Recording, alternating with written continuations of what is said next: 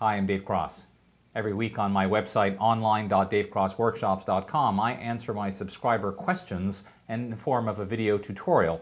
This particular question came in that someone that said, I'm trying to use content-aware fill and it's really not working for me. So I want to explore and hear why I think many times the patch tool is a better option than content-aware fill. Now don't get me wrong, content-aware fill is fantastic a lot of the time, but I want to have a little more control and that's what the patch tool gives me. So here in this vacation photo, the palm trees right in the middle to me are a little bit of a distraction just because we can't see any of the greenery on the palm tree. So I'd like to get rid of it, quote unquote, using content-aware fill. So first of all, let's duplicate the background layer because one of the first things that's a bit of a drawback with content-aware fill is you have to do it on a pixel-based layer. In other words, you can't fill to a blank layer, which when we see the patch tool, that's one of its advantages. So let's just do this really quickly here, make a selection around the palm trees, this, and then on this copy layer, we're going to go to Edit, Fill, and Content Aware, and click OK. Now, the middle part, it did an okay job, but at the top and the bottom, we'd end up having to fix that. So instead, let's see how the patch tool might help us. So I'm going to delete this top layer and instead add a blank layer because again, one of the advantages of the patch tool is that we can use it onto a blank layer. So I'm going to make the same kind of selection I had before, fairly rough, but just to show you the difference.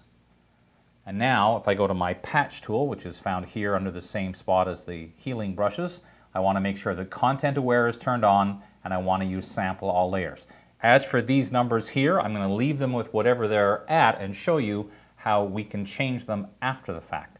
So now I just drag, and here's one of the first advantages of the patch tool is we can choose what we want to use as our patch. Now in this case, the sky is pretty solid, but there is that little bit of darker blue streak going across. So if I adjust, you can see how I'm getting a preview so I can see which areas I clearly shouldn't use and where I should use.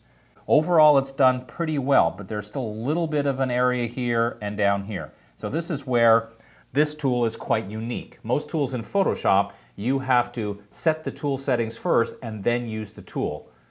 The patch tool is one of a small number now where you can adjust the settings live. As long as you haven't done anything else, I've moved the patch over, it's still waiting for me. I can go in here and say, well, what happens if I put the structure higher? And it redoes it, and all of a sudden it's better here, pretty good down there too. The color setting sometimes will make all the difference. So look at that. Now, it still needs a little bit of work, but less than it did before, and the results of this are on a blank layer. So if later on I'm looking at it and decide I still want to tweak something, I still can.